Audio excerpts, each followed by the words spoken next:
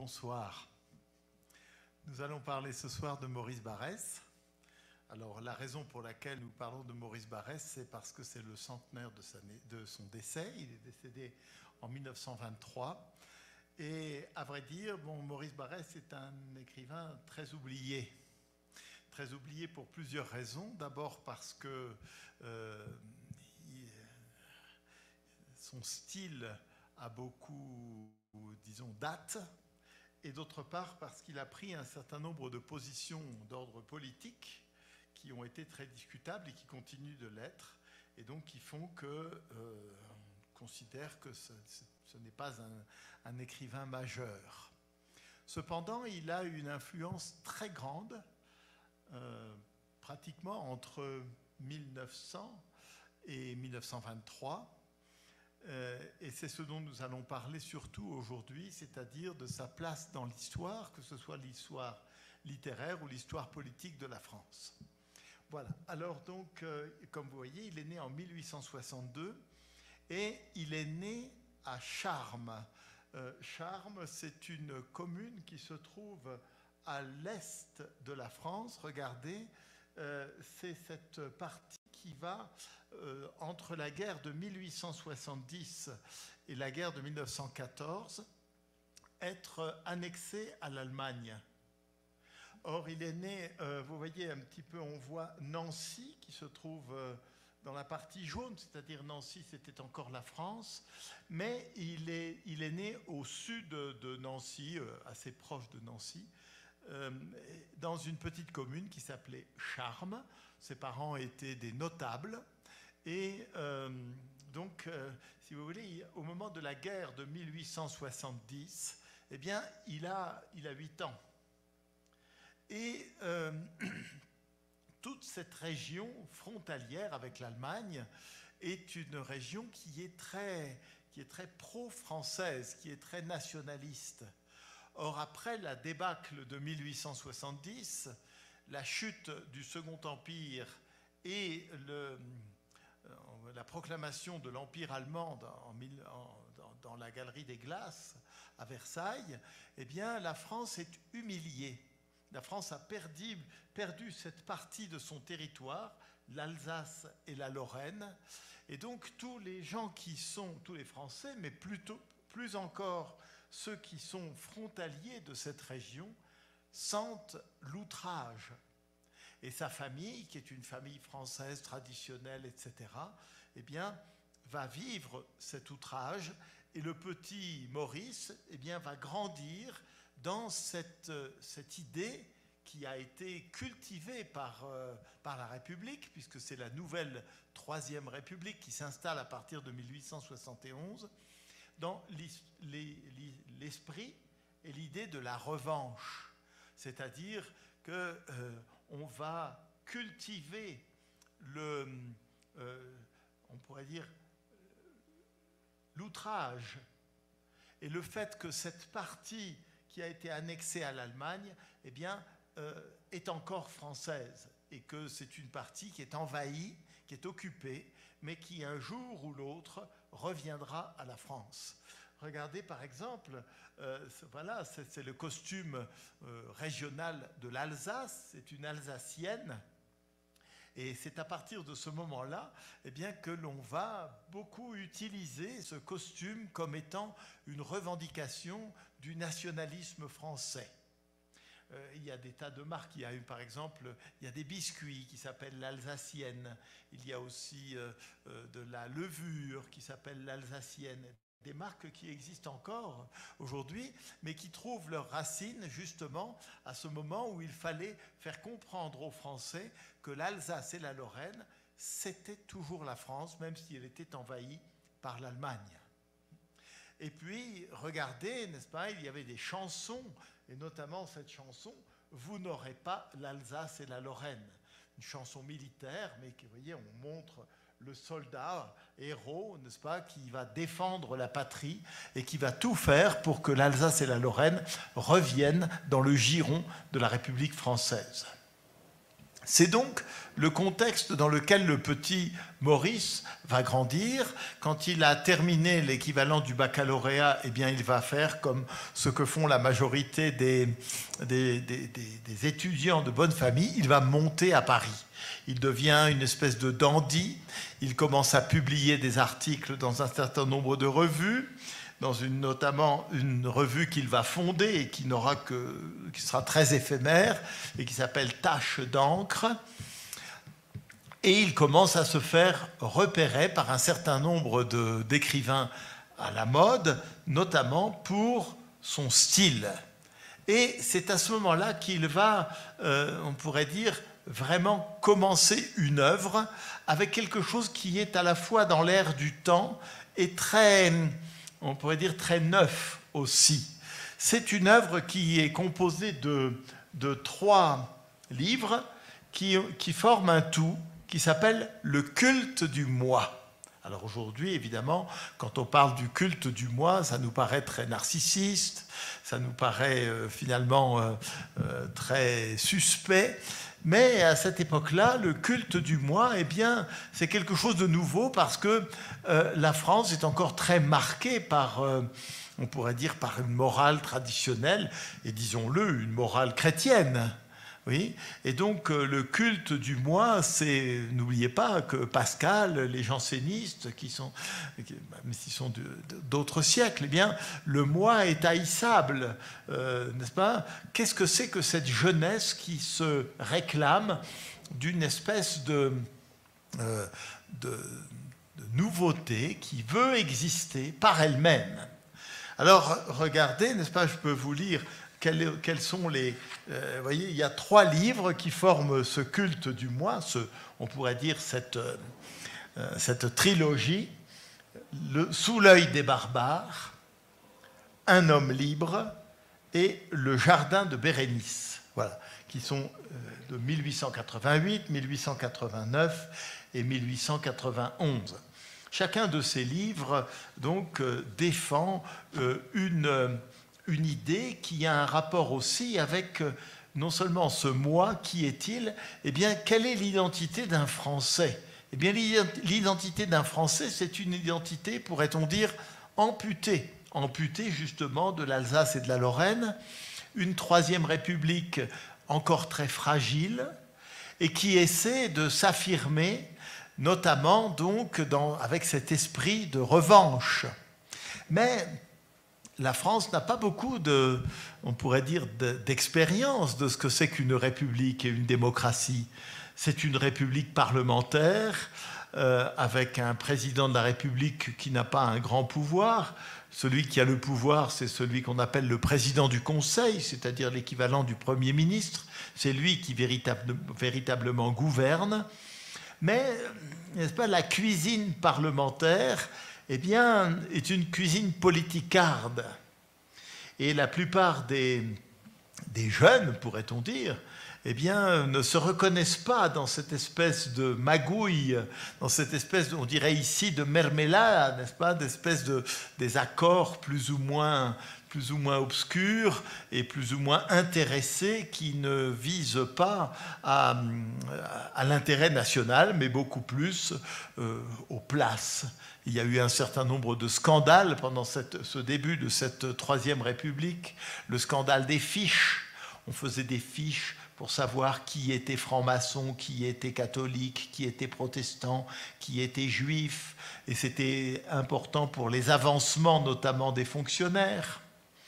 Il y a eu aussi le scandale des décorations on s'est rendu compte que le, gendre euh, du président Loubet eh bien, euh, vendait des, légions d'honneur. Alors il, suffisait de payer et ensuite il fabriquait de toutes pièces un dossier qui permettait donc à ceux qui avaient payé donc d'obtenir la légion d'honneur à une époque où on était encore très sensible aux décorations, etc. etc. Donc c'est une période effectivement très fragile encore de la démocratie. Alors, le premier, on pourrait dire que la première, euh, le premier réflexe de la jeunesse, eh bien, c'est de se replier sur soi et peut-être d'aller chercher, euh, on pourrait dire, en elle-même un sens à la vie. plutôt que de le chercher dans une espèce de consensus national. Regardez par exemple dans euh, Un homme libre, qui est le livre central de, ce culte du moi, Barès va dire le premier principe, les principes de sa méthode du culte du moi, le premier principe, c'est nous ne sommes jamais si heureux que dans l'exaltation. C'est donc quelque chose de très romantique encore, l'exaltation du moi, l'exaltation de la patrie, etc. Deuxième principe, ce qui augmente beaucoup le plaisir de l'exaltation, c'est de l'analyser, cette exaltation. On pourrait, presque dire aujourd'hui que c'est une espèce d'hystérie, Et puis le troisième principe, c'est il faut sentir le plus possible en analysant le plus possible. C'est-à-dire rentrer en soi. N'oublions pas que nous sommes à la fin du 19e siècle. C'est aussi la période de l'émergence euh, des grandes théories euh, euh, psychologiques, que ce soit Charcot avec l'analyse de l'hystérie, ou que ce soit Freud avec la découverte, la découverte, la théorie de l'inconscient, etc. Nous sommes donc en plein dans une espèce de mouvement européen, pourrait-on dire, et même peut-être au-delà, disons international, de recherche de la compréhension de soi. Or, ce jeune homme qui écrit sur le culte du moi, eh bien, nous allons voir un petit peu ce qu'il écrit et ce qui nous permet de, mieux comprendre ce culte du moi. Regardez, dans, ça c'est dans Sous l'œil des barbares, c'est le deuxième euh, donc des trois livres. L'œil des barbares, sous l'œil des barbares, pardon, sous l'œil des barbares, c'est le premier, le premier livre. Je rappelle que sous l'œil des barbares, eh bien, ça veut dire sous l'œil des Allemands qui ont, euh, qui ont été cruels et qui nous ont confisqué l'Alsace et la Lorraine. Nous vivons sous l'œil des barbares. La notion de barbare, je vous demande de la retenir parce qu'elle va être importante pour toute l'évolution, aussi bien politique que euh, littéraire, de, euh, de, Maurice Barrès. Alors écoutons cela.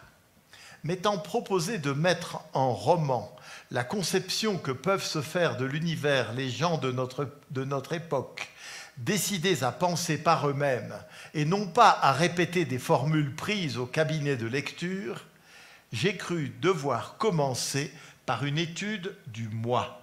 C'est presque, c'est cartésien d'une certaine façon, n'est-ce pas? Comment se débarrasser des préjugés? Eh bien, on va commencer par moi. Évidemment, aujourd'hui, n'est-ce pas, on aurait tendance à considérer que c'est très narcissique, comme je disais.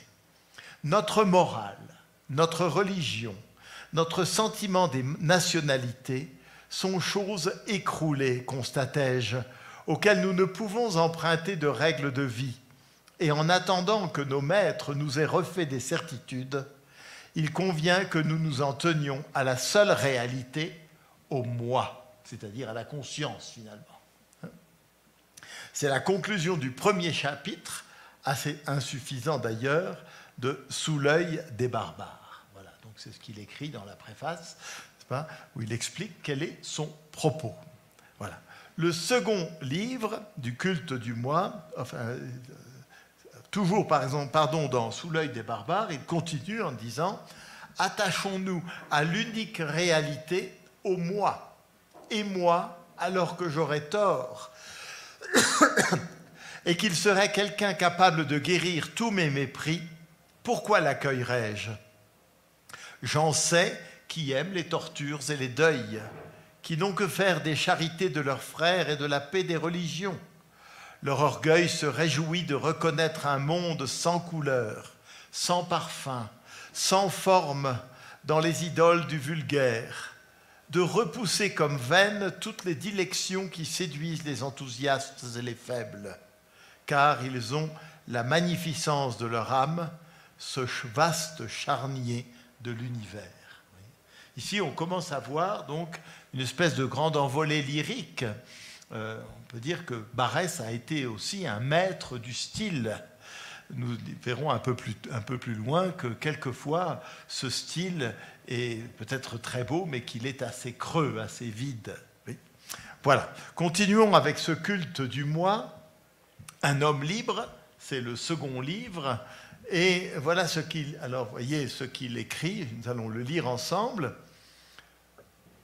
Ceux qui ne connurent jamais l'ivresse de déplaire ne peuvent imaginer les divines satisfactions de ma 25e année. J'ai scandalisé. Des gens se mettaient, à, se mettaient, à cause de mes livres, en fureur. Leur sottise me crevait de bonheur. Croyez-vous donc que j'eusse voulu être entendu de n'importe qui? J'écrivais pour mettre de l'ordre en moi-même et pour me délivrer, car on ne pense, ce qui s'appelle penser, que la plume à la main. Mais le premier venu allait-il pencher sa tête par-dessus mon épaule sur mon papier? Fi, monsieur, m'écriai-je, moyennant trois francs cinquante, vous voudriez connaître mes plus délicates complications? Faites d'abord des études préliminaires, ou plutôt adressez-vous ailleurs, car rien ne m'assure que vous soyez né pour que nous causions ensemble. Cette disposition méprisante a ses inconvénients. J'ai créé un préjugé contre mes livres. Pendant une dizaine d'années, il y eut sur l'égotisme de M. Barès, sur le moi de M. Barès, les plus sots jugements. Et il semblait presque impossible que je les surmontasse. En effet, il n'a fallu rien moins qu'une guerre civile. Cette guerre civile, évidemment, eh bien, ça va être euh, l'affaire Dreyfus, dont nous allons parler tout à l'heure. Voilà, alors ici, n'est-ce pas, nous voyons apparaître un phénomène qui n'est pas nouveau et qui est très fin de siècle, pourrait-on dire, et qui est euh, ce qu'on appelle le dandisme. Qu'est-ce que c'est qu'un dandy? C'est quelqu'un qui aime l'art de déplaire, qui aime une mine tout et un aspect tout à fait affecté. Euh, c'est quelqu'un qui, qui, se veut le parangon de la mode. C'est lui qui fait la mode, c'est pas lui qui suit la mode. Et donc, euh, il y a un certain nombre de dandys célèbres. Je ne sais pas, je pense à Brumel, je pense à Barbé d'Aurevilly. On peut aussi y ajouter euh, Baudelaire, qui est bien avant. Et on pourrait peut-être y ajouter aussi Marcel Proust, c'est-à-dire des gens pour lesquels la mode, le snobisme sont une façon d'être beaucoup plus que, euh, beaucoup plus que simplement le fait de suivre une mode. Or, c'est quelque chose de beaucoup plus profond, n'est-ce pas, que simplement le fait de, euh, de, de se soucier de l'apparence. C'est le fait de croire que l'apparence révèle l'essence. Et donc, si je choque, si je choque le bourgeois, c'est le triomphe de la bourgeoisie, cette fin du 19e siècle. C'est ce qu'on appelle la belle époque. Hein, cette belle époque qui, euh, je le dis très souvent, n'est belle que pour une petite partie de la société, parce que c'est aussi une période terriblement cruelle pour euh, les ouvriers pour les paysans, pour ceux qui, euh, qui ont perdu avec la guerre de 1870 tous leurs espoirs, quelquefois des membres de leur famille, etc. Donc cette première période qui va pratiquement de 1870 à 1914, c'est une période de grands bouleversements sociaux, politiques, mais c'est aussi, donc, voyez, au niveau de la littérature, une période où on, euh, eh bien, on veut renouveler justement à la fois le roman, euh, les essais et les réflexions sur euh, le sort de la France, le sort d'un peuple comme l'est le peuple français. Alors nous avons ici un très beau texte, mais évidemment c'est un style que l'on n'utiliserait plus aujourd'hui. Regardez, il y a des imparfaits du subjonctif, n'est-ce pas? Euh, Impossible que je les surmontasse. Oui. Ça, c'est évidemment, euh, c'est à l'avant-dernière ligne, voyez, du verbe surmonter, donc l'imparfait du subjonctif. Voilà. Donc euh, nous continuons avec ce culte du moi qui va être le creuset de la, on pourrait dire, de la, de la sensibilité de toute cette jeunesse.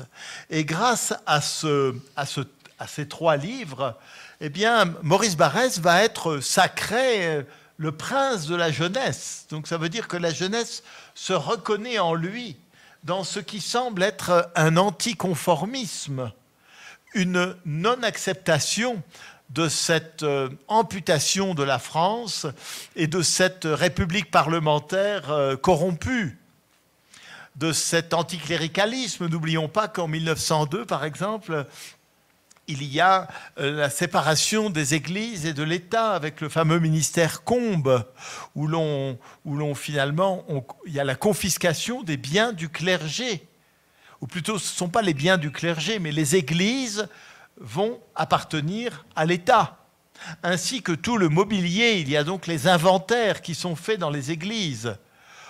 Aujourd'hui, en France, on sait que ça a été finalement une bénédiction, puisque imaginez si les églises, les monuments euh, appartenaient encore, euh, on pourrait dire, euh, aux églises, que ce soit les catholiques, les protestants, les juifs, etc., eh bien ce serait épouvantable, ce serait, ce serait ingérable. Aujourd'hui, les églises appartiennent à l'État. Mais il y a cette clause qui fait que c'est l'État qui met à la disposition des cultes un certain nombre de monuments euh, qui sont traditionnellement réservés à ces cultes. Voilà.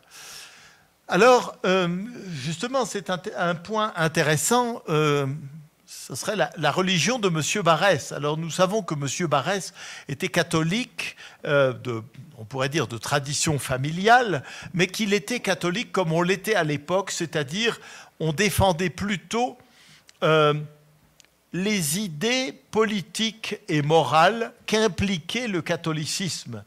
Ce n'était pas un, catholicisme pieux. On croyait finalement aux valeurs que représentait l'Église dans la société. Mais on n'était pas pour ça pratiquant, pieux, euh, euh, dévot. Voyez?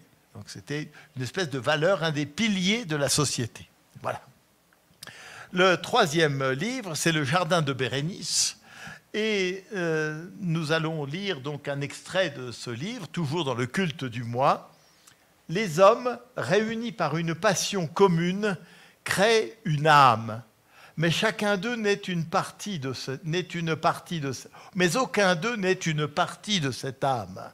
Chacun la possède en soi, mais ne se la connaît même pas. C'est seulement dans l'atmosphère d'une grande réunion, au contact de passions qui fortifient la sienne, que s'oubliant lui et ses petites réflexions, il permet à son inconscient de se développer. De la somme de ses inconscients, voyez le mot inconscient, naît l'âme populaire. Pour la créer, seuls valent les ouvriers, des gens du peuple, plus spontanés, moins liés de petits intérêts que des esprits réfléchis. Elle est analogue à chacun de ceux qui la composent et n'est identique à aucun. Elle dépasse tout individu en énergie, en sagesse, en sens vital. Ce qu'elle décide spontanément, ce sont les conditions nécessaires de la vie. C'est un très beau texte, mais en même temps, c'est très inquiétant. N'est-ce pas? Nous pourrions presque y voir la, graine d'un national-socialisme, c'est-à-dire une espèce d'unanimisme euh, une, politique sociale. Et d'ailleurs, après la réussite de ces trois premiers livres, Maurice Barrès va entrer en politique. Il va se présenter pour être député. Il va être élu et il va donc siéger à la Chambre, c'est-à-dire à la Chambre des députés, c'est-à-dire l'équivalent ici de la Cámara de Representantes. Et il va siéger à gauche. Il va être pratiquement un, un collègue de M. Léon Blum, qui plus tard deviendra le président du Conseil représentant le Front populaire. Vous voyez, donc c'est un, une espèce de, on pourrait dire, euh, d'opportunisme de, gauche pour être élu. Hein?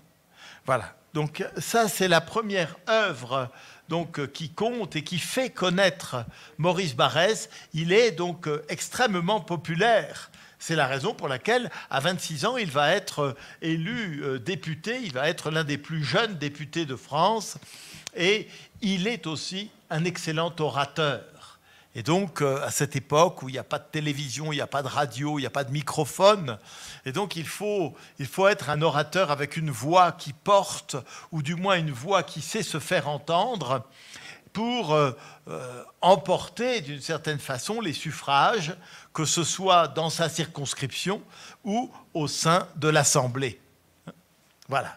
Alors, donc, c'est un homme qui devient riche, puisque à l'époque, euh, eh bien, n'est-ce pas, aujourd'hui, enfin, très peu de gens lisent finalement, et les livres permettent difficilement à un écrivain de vivre, à moins d'être, euh, disons, je sais pas, d'être vraiment un écrivain extrêmement lu.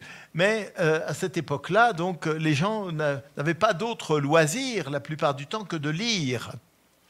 Et quand ils ne lisaient pas eux-mêmes, ils se faisaient lire. On faisait des soirées de lecture, etc. Et donc, le, prix du livre permettait à un écrivain de vivre très bien.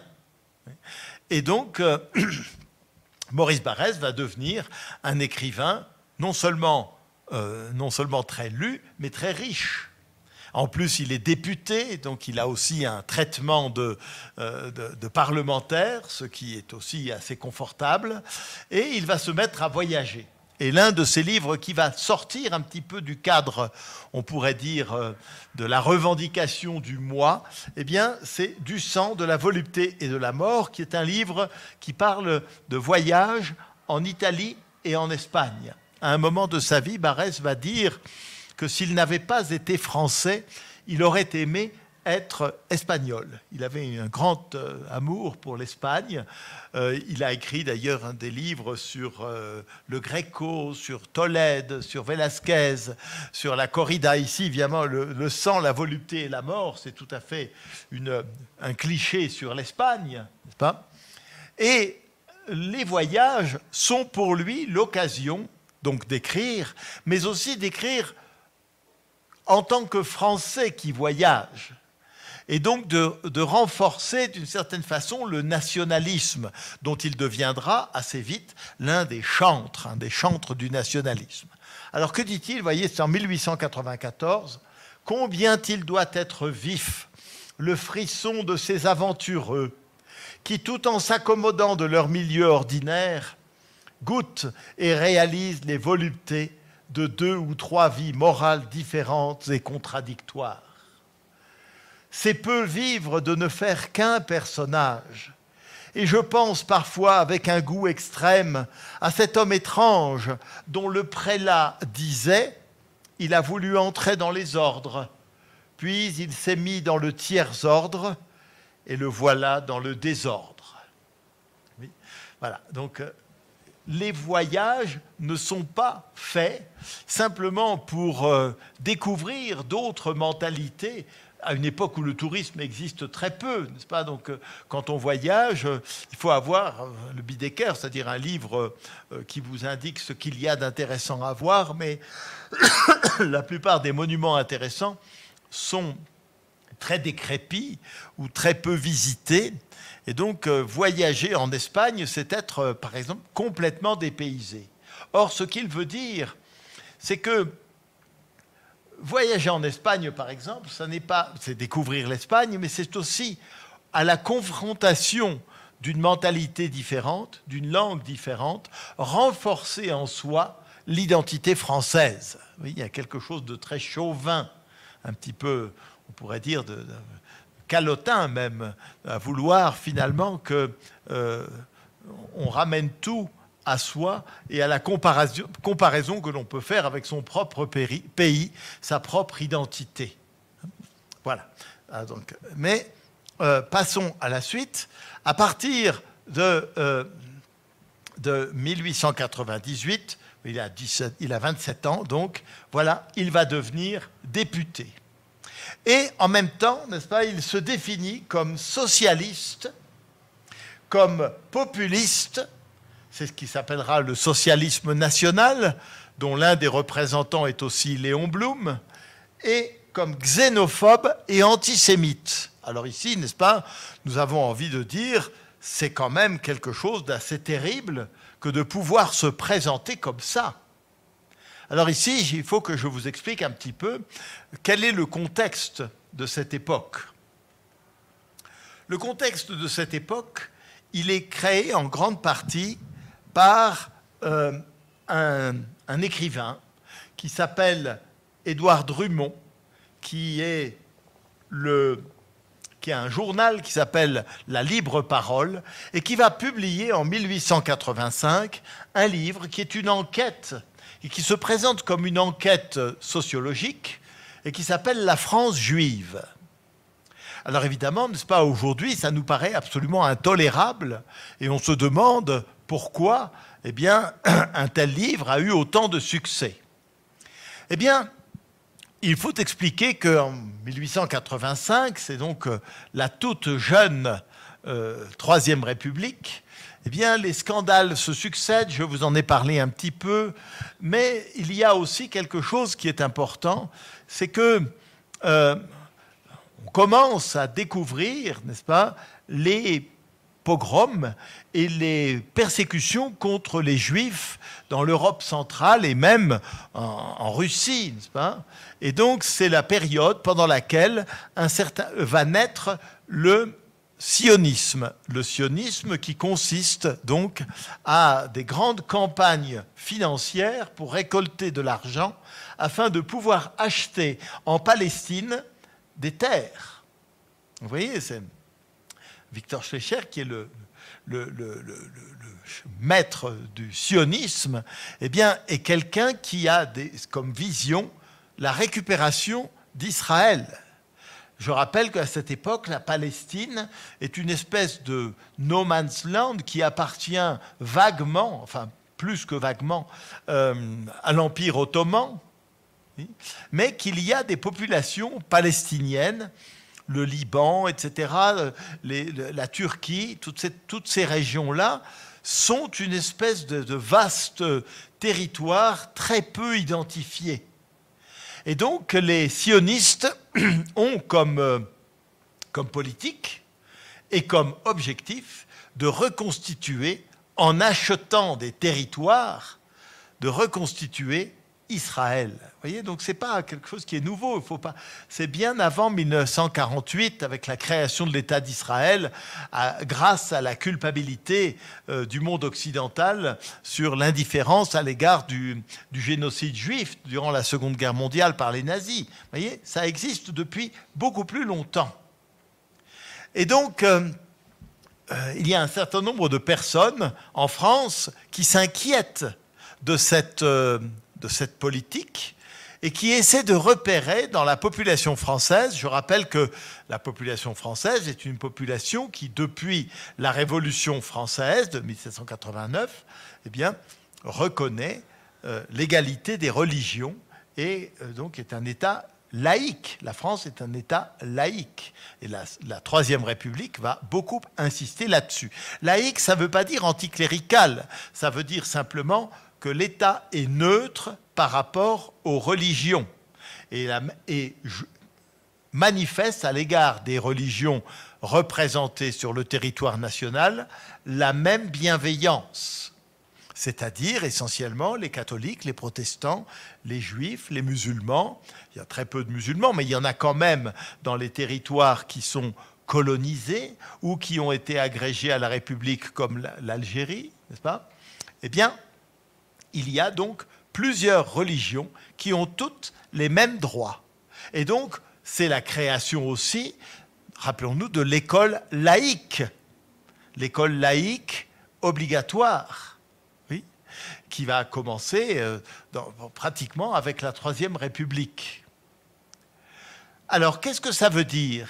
Eh bien, ça veut dire que M. Drummond eh bien, va essayer de débusquer le juif. Pourquoi? Parce qu'il y a une caractéristique particulière des juifs, c'est que, c'est ce que l'on dit en tout cas, ce n'est pas, moi qui le dis, euh, c'est que un juif est juif avant d'être français, un juif est juif avant d'être allemand, un juif est juif avant d'être russe, un juif est juif avant d'être euh, euh, espagnol ou d'être italien.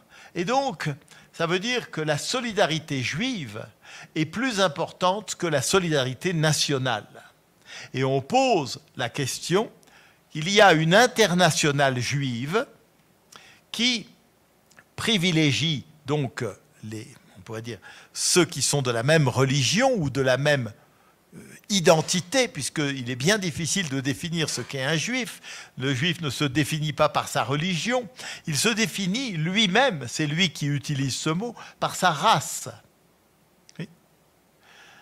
C'est-à-dire par une identité qui vient du sang, indépendamment de la croyance.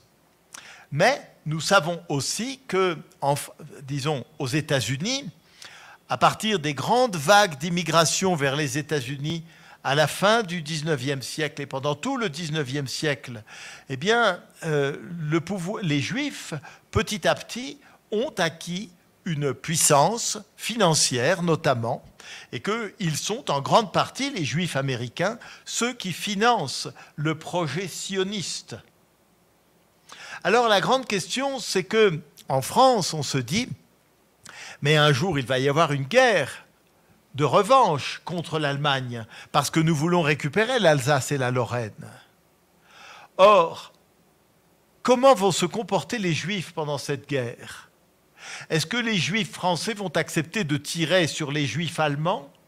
Ou bien est-ce que les Juifs de tous les pays, comme les prolétaires de tous les pays, vont s'unir au-delà des nationalités et des nationalismes? C'est une question, effectivement, euh, qui pouvait se poser.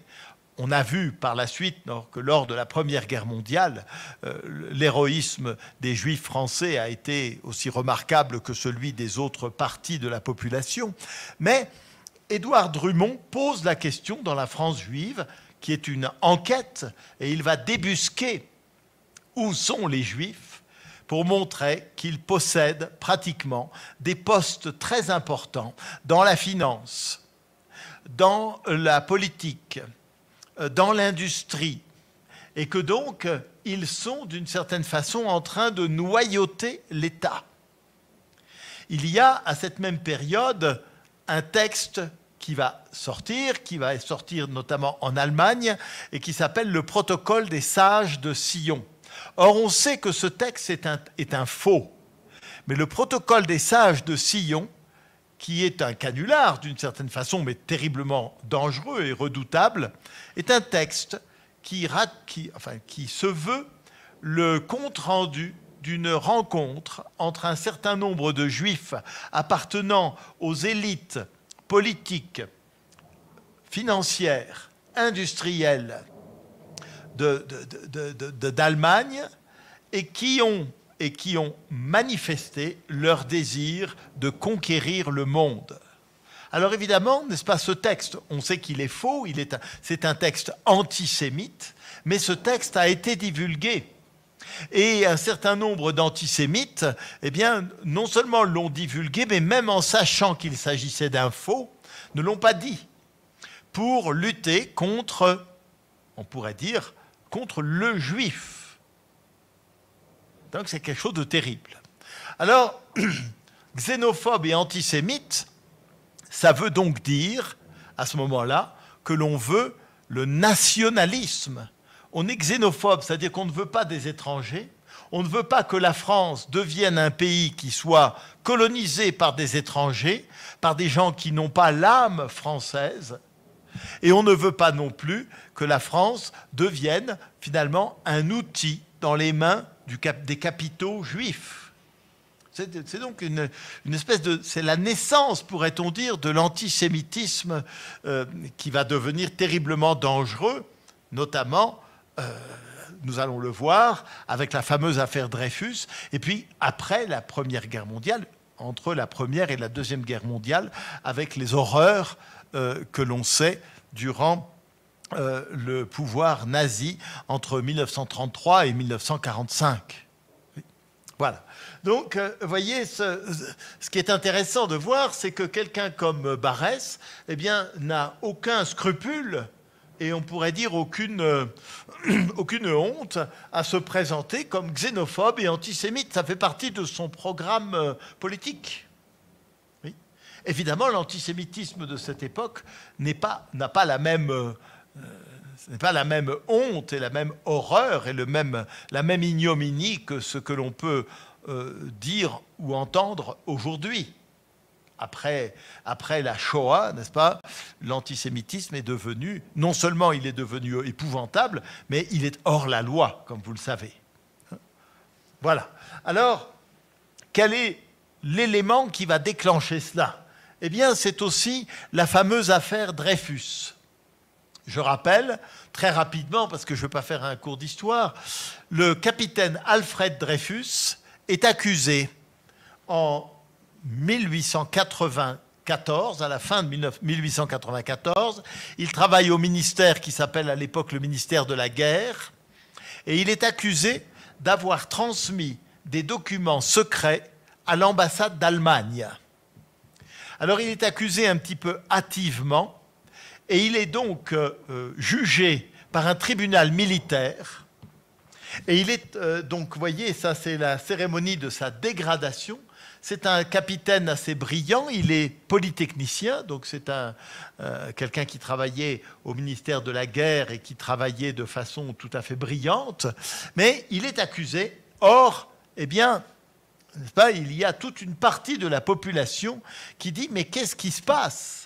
On n'est au courant de rien, on nous montre un capitaine qui est dégradé dans la cour euh, des invalides, des dégradés, voyez, on brise son sabre, on lui enlève tous ses, tous ses galons et on va l'envoyer au bagne, au bagne à l'île du Diable, qui se trouve donc au large de la Guyane, puisque c'est là que se situait le bagne euh, de la République française, l'un des bagnes. Oui alors c'est évidemment quelque chose qui est euh, scandaleux. Mais une bonne partie de la population n'en a pas conscience. Il va falloir attendre, n'est-ce pas, parce que c'est un, un jugement, c'est un tribunal militaire qui l'a condamné et un certain nombre de personnes vont commencer à réagir, et notamment, vous avez entendu parler, il faut attendre 1898, donc c'est-à-dire trois ans après que la condamnation et la dégradation de Dreyfus, pour que Émile Zola, dans son journal, dans le journal qui s'appelle L'Aurore, publie ce célèbre, euh, célèbre accusation J'accuse lettre au président de la République.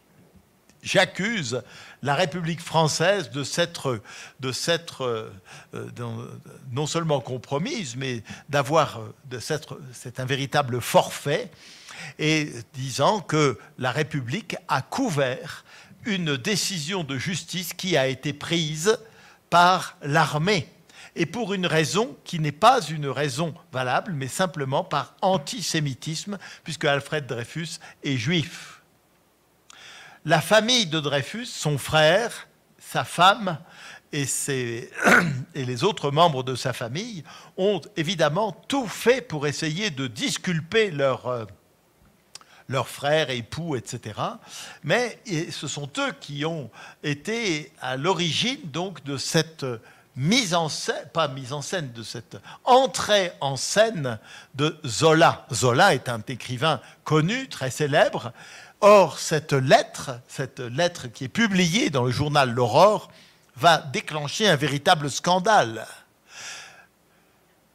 Zola va être lui-même accusé et il va devoir euh, partir en Angleterre, en exil, après avoir été euh, donc accusé et condamné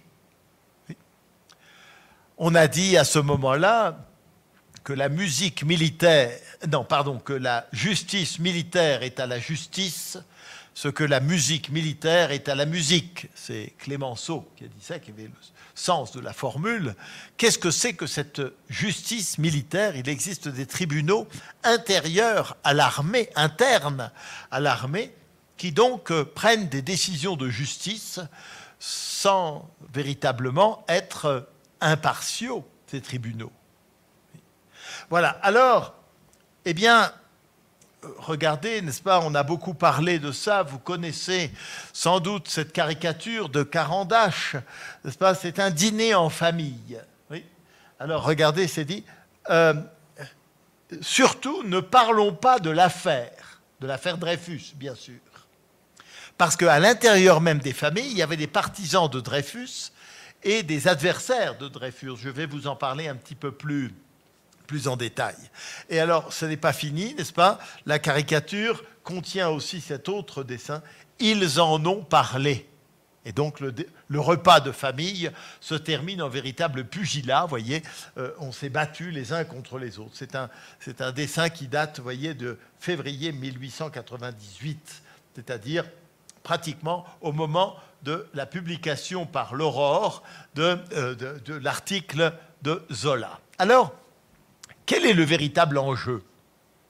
Est-ce qu'il y a simplement des gens qui sont pour Dreyfus, qui croient qu'il est innocent, et des gens qui disent qu'il est coupable? Eh bien, c'est un petit peu plus compliqué que cela. Parce que, dans le fond, n'est-ce pas, les anti-Dreyfusards disent Dreyfus est peut-être innocent, mais on ne peut pas discréditer l'armée. Si l'on discrédite l'armée, si on dit que l'armée a fait un faux témoignage, qu'elle a menti et qu'elle a condamné un innocent, on va dire que la justice et l'armée sont faillibles. Or, l'armée doit garder tout son prestige. Et donc, on considère que, eh bien, Zola, quand il euh, défend Dreyfus, et Dreyfus lui-même, eh bien, finalement, c'est bien peu de choses par rapport à l'honneur de la justice et à l'honneur de l'armée. C'est quelque chose de terrible. Mais cela va créer une véritable, un véritable marasme, un chaos dans la population française, puisque finalement, bon, vous savez que Dreyfus finira par être euh, non seulement euh, euh, libéré, mais aussi réhabilité. Et il aura d'ailleurs un rôle tout à fait honorable pendant la Première Guerre mondiale. Mais, euh, n'est-ce pas, ce sont des mentalités qui s'affrontent, au-delà de la personne même du capitaine Dreyfus. Regardez, n'est-ce pas, ce qu'est capable de dire et d'écrire Maurice Barrès. C'est quand même incroyable. Que Dreyfus est capable de trahir, je le conclus de sa race. Donc il ne dit pas qu'il a trahi, il a dit qu'il soit capable de trahir je le conclus de sa race. C'est quand même quelque chose de terrible, hein, d'une injustice et d'une mauvaise foi euh, terriblement inquiétante. Cet autre texte, écrit aussi par euh, Barès à propos d'Émile Zola, vous savez qu'Émile Zola, donc euh, ce grand écrivain maître du naturalisme qui a écrit les Rougon-Macquart, eh bien, était d'origine italienne. Son père était un, ingénieur euh, des ponts et chaussées italien qui était arrivé, dont la famille était arrivée dans le sud de la France, à Nice et dans la région, et qui ensuite donc euh, eh bien, est monté à Paris après la mort de son père qui est mort assez jeune, et donc euh, il a eu une vie assez compliquée, et il a connu la pauvreté. Regardez ce que Barès est capable d'écrire à propos de Zola. Qu'est-ce que M. Émile Zola? Je le regarde à ses racines. Cet homme n'est pas un Français. Il se prétend bon Français. Je ne fais pas le procès de ses prétentions, ni même de ses intentions. Je reconnais que son dreyfusisme est le produit de sa sincérité.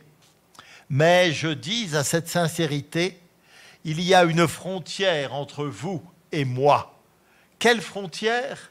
Les Alpes parce que son père et la série de ses ancêtres sont des Vénitiens, Émile Zola pense naturellement comme un Vénitien déraciné. Autrement dit, il ne pense pas comme un Français.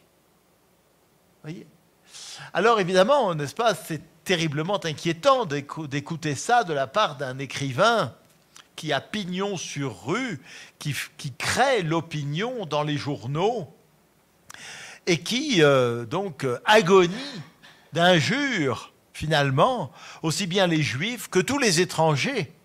C'est un xénophobe. Oui.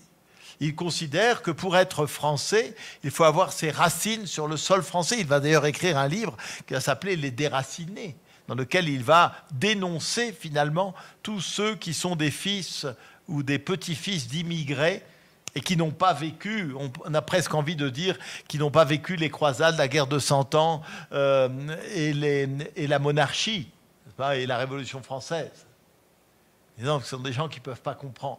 Évidemment, n'est-ce pas, aujourd'hui, nous avons une sensibilité beaucoup plus, beaucoup plus délicate et beaucoup plus prudente, même si aujourd'hui, nous savons qu'il y a, dans pas mal de pays dits démocratiques, pense aux États-Unis, mais je pense à d'autres pays, en Europe notamment, n'est-ce pas, une espèce de résurgence de ce nationalisme dont Maurice Barrès se veut le chantre. Le chantre du nationalisme, ça commence là. Voilà. Alors, regardez ensuite, euh, j'ai mis une photo du capitaine Dreyfus là-haut. Cette affaire Dreyfus, eh bien, elle va se terminer pratiquement euh, en 1905-1906 avec la réhabilitation de Dreyfus, et non pas simplement sa grâce, mais il va demander la réhabilitation et sa réincorporation dans l'armée, hein, ce qui est tout à son honneur, justement. Il aurait pu se contenter de la grâce présidentielle, mais il veut la justice. Voilà.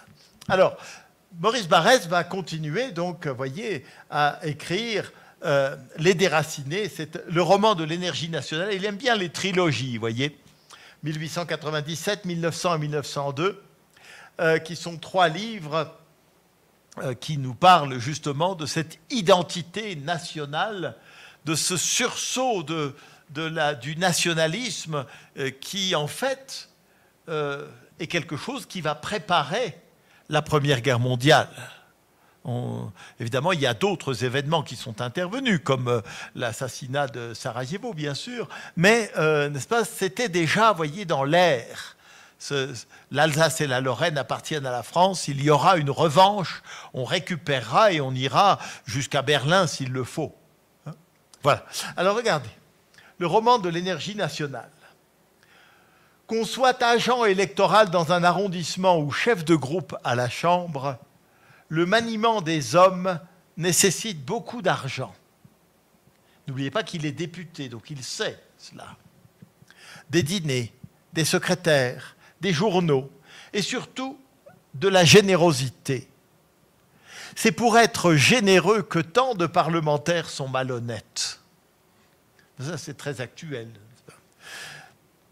Suret Lefort, qui savait, pour s'en être fait, des succès dans les réunions publiques, que les concessionnaires abondent au Palais Bourbon, fut tout de même interloqué d'apprendre petit à petit, petit à petit, et des membres de la majorité, que les fournitures de la guerre, les conventions avec les grandes compagnies, la conversion des obligations tunisiennes, les rachats des chemins de fer et la constitution du réseau de l'État étaient des affaires.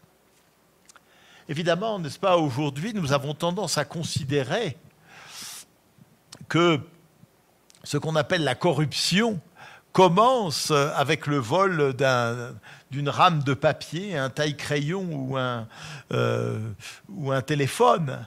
Mais à cette époque-là, n'est-ce pas, la notion, de, la notion de corruption était quand même beaucoup plus souple. Mais ici, nous avons une dénonciation, justement, de, des contrats qui sont passés avec des entreprises, avec des, pouvoirs financiers de l'État, eh bien, c'est ce que font la plupart des, parlementaires. Regardez, pour être généreux, il faut être malhonnête. Comme si, n'est-ce pas, on nous disait déjà que le traitement d'un d'un parlementaire n'est pas suffisant pour qu'il puisse aussi euh, euh, mener une campagne qui lui permette d'être élu. Voilà. Continuons avec euh, toujours ce roman de l'énergie nationale. Ah oui, alors, en 1906, ici je ne résiste pas au plaisir, en 1906, eh bien, euh, il est élu, il est, il est député, il est élu membre de l'Académie française. donc il est jeune, vous voyez, en 1906. Il va être l'un des plus jeunes membres de l'Académie française. Alors regardez, euh, il se trouve qu'il devient vous savez, quand on est membre de l'Académie française, il y a 40 fauteuils à l'Académie française, c'est-à-dire il y a 40 postes.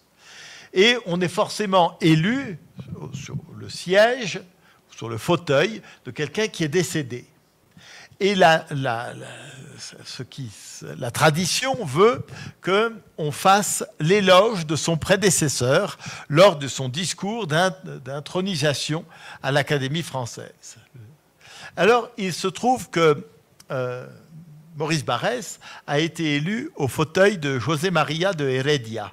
José María de Heredia, c'est un Cubain qui est un, descendant de Pedro de Heredia, qui est le fondateur de Carthagène. Or, il se trouve que ce José María de Heredia n'a obtenu la nationalité française qu'à 50 ans pour pouvoir être élu à l'Académie française. Donc ça veut dire que Maurice Barrès va devoir faire l'éloge de quelqu'un qu'il considère comme n'étant pas un bon français. Et voilà, je ne résiste pas au plaisir d'avoir mis ce texte, surtout ici en Colombie.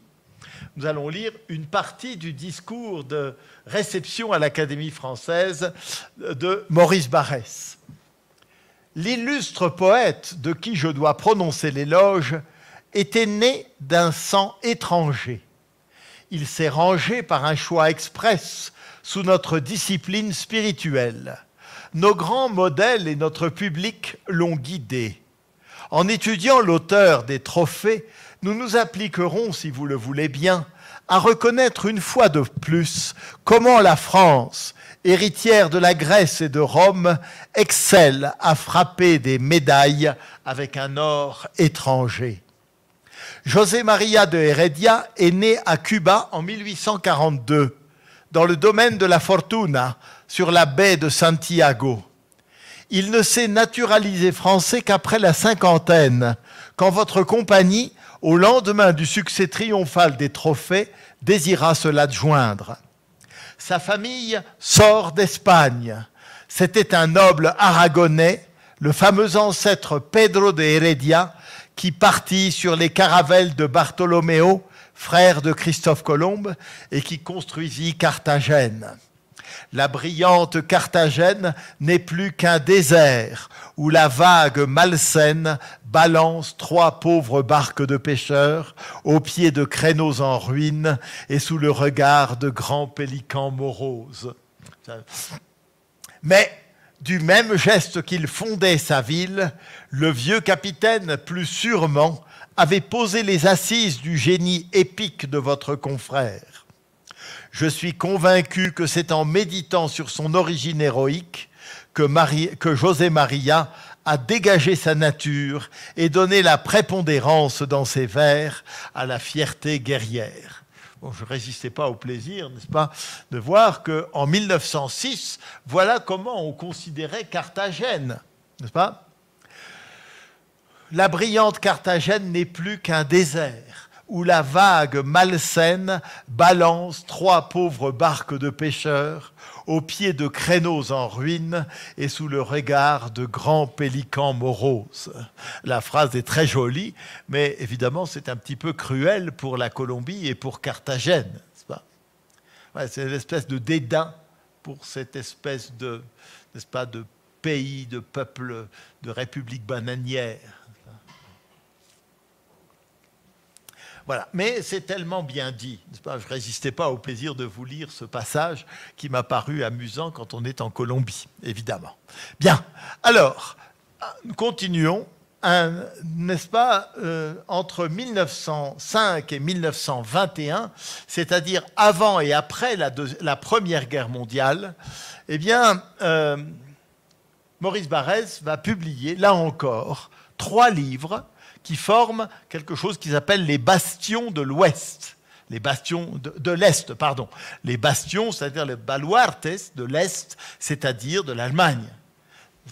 Au service de l'Allemagne, en 1905, Colette Baudoche et le génie du Rhin.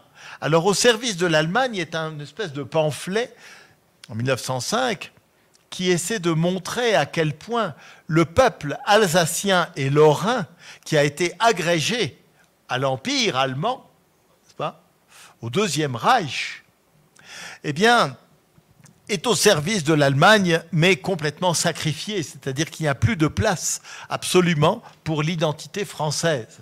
vous savez que c'est quelque chose qui va se reproduire, malheureusement, entre 1940 et 1945, puisque l'Alsace et la Lorraine vont être à nouveau assimilées euh, au Troisième Reich, euh, donc au Reich nazi, et que les habitants de l'Alsace et de la Lorraine vont être recrutés comme des soldats allemands, ce qu'on appelle les malgré nous, et qui vont être euh, euh, la chair à canon qui va être envoyée très souvent sur le front russe.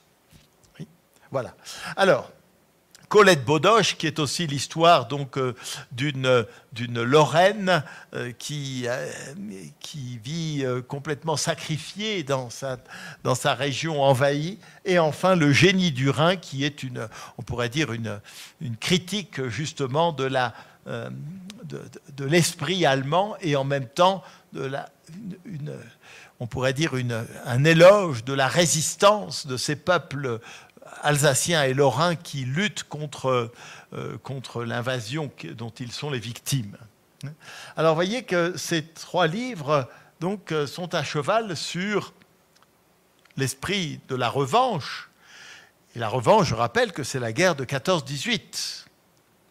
Alors, regardez, au service de l'Allemagne, voyez comment, comment était présenté le livre voyez, on voit cette, cette, Alsacienne avec son costume, je vous ai montré tout à l'heure quelle était la coiffe des Alsaciennes, qui est là comme une vierge sacrifiée, et puis devant elle, l'Allemand, reconnaissable, le Prussien, vous voyez, à son casque à pointe. Alors ici, le casque à pointe, évidemment, euh, on en voit ici, parce que c'est une partie de, donc, euh, de, l'agent militaire colombienne euh, a été formée par l'Allemagne, et donc il y a le fameux casque à pointe, mais en France, dans la mentalité et dans l'imagerie française, le casque à pointe, évidemment, c'est l'allemand. Hein, voilà, le Bosch. Voilà. Alors, regardez ce qu'il écrit dans Au service de l'Allemagne, justement, le premier de ses livres. J'avais vu monter de la plaine des promeneurs, hommes, femmes, enfants, pour la plupart des Alsaciens, et certes, bien loin qu'ils fussent des vaincus, leur manière d'être témoignait de solides et nobles attitudes, habitudes et une grande confiance en eux-mêmes. Il ne serait point difficile, me disais-je, que de tels gens se dévoissent sur les champs de bataille, dans les armées de France. Mais chaque jour, chacun de ces Alsaciens, pris comme il est par des intérêts positifs, peut-il trouver en soi une dose suffisante d'énergie pour combattre le germanisme? Voyez Nous sommes, c'est en 1905, on est en train de fabriquer l'esprit de revanche et le chantre du nationalisme, ce prince de la jeunesse, entraîne avec lui, n'est-ce pas, toute une population qui se laisse influencer par ce beau style et par ces grandes envolées lyriques sur la reconquête, la revanche finalement. Voilà.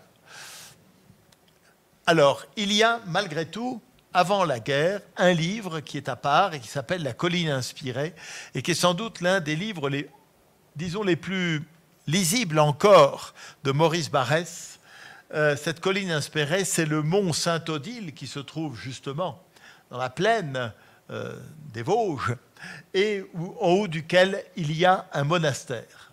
Alors, je vais vous lire le début parce que le début est très célèbre. Il est des lieux où souffle l'esprit. Combien de fois, au hasard d'une heureuse et profonde journée, n'avons-nous pas rencontré la lisière d'un bois, un sommet, une source, une simple prairie qui nous commandait de faire taire nos pensées et d'écouter plus profond que notre cœur? Silence, les dieux sont ici.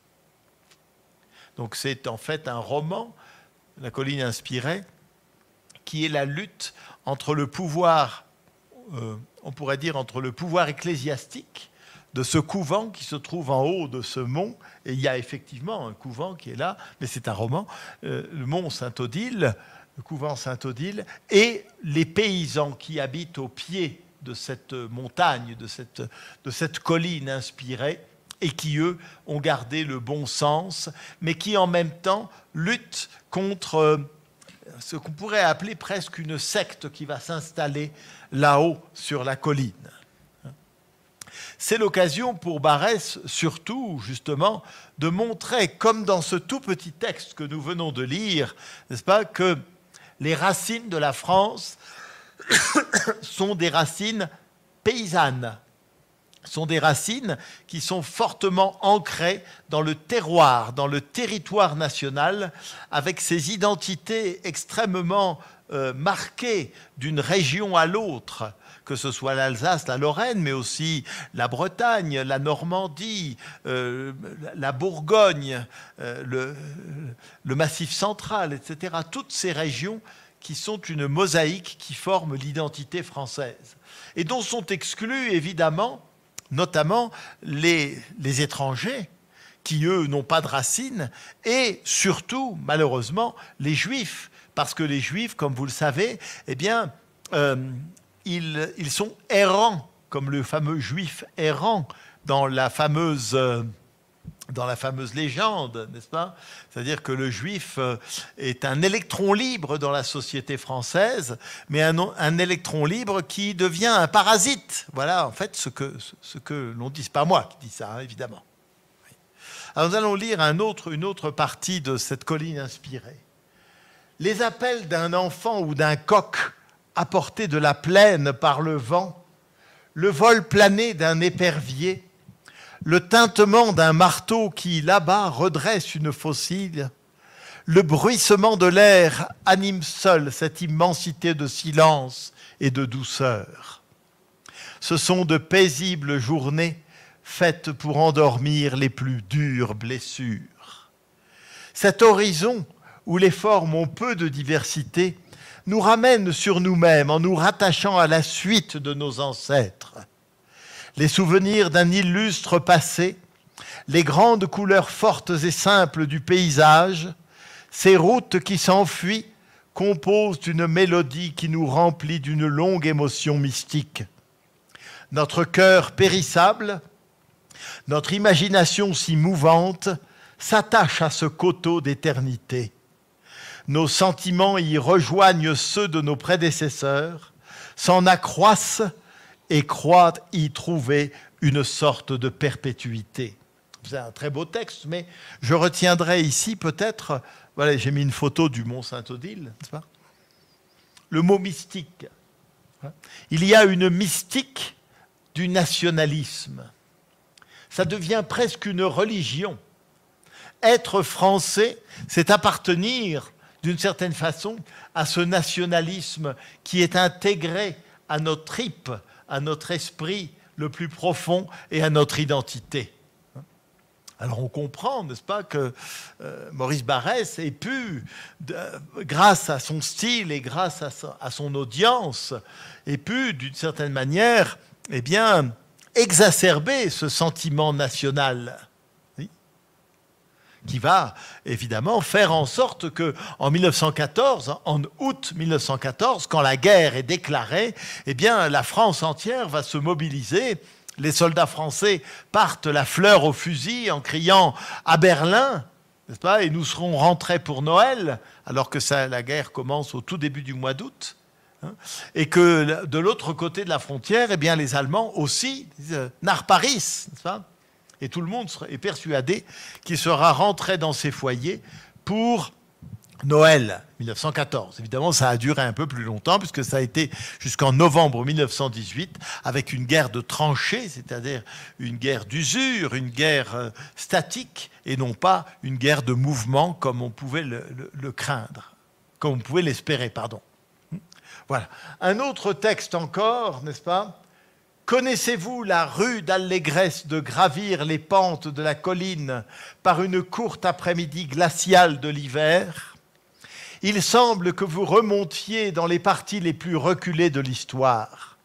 Le ciel est couvert d'épais nuages qui naviguent et sous lesquels des troupes de corneilles par centaines voltigent, allant des sillons de la plaine jusqu'aux peupliers des routes, ou bien s'élevant à une grande hauteur pour venir tomber d'un mouvement rapide au milieu des arbres qui forment sur le sommet le petit bois de Plémont.